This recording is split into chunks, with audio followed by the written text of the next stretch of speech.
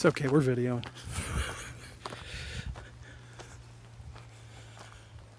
It's kind of hard to get all of that in the picture, but That it is.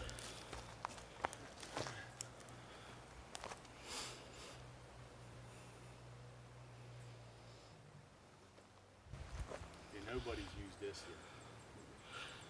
All brand new? Well, this is, yeah, I just got this done probably a week ago.